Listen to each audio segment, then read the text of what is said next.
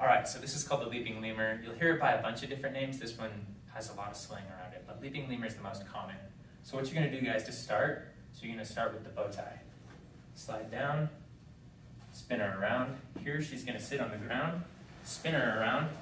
So girls, you're gonna wanna get your feet in a way, sometimes depending on the girl, you wanna get them on the foot of the guy to use as like a footing.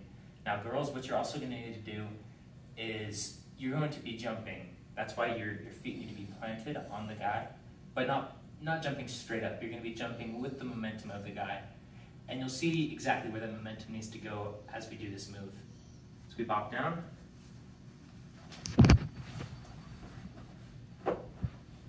And bop. So for the girls, I'll just also give a few quick pointers as we do the move again. So you'll start,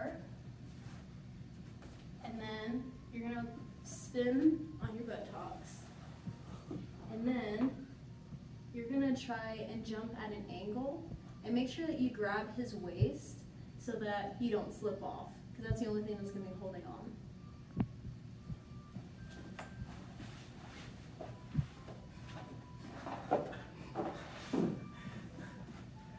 And that's it. Even though that was really rough.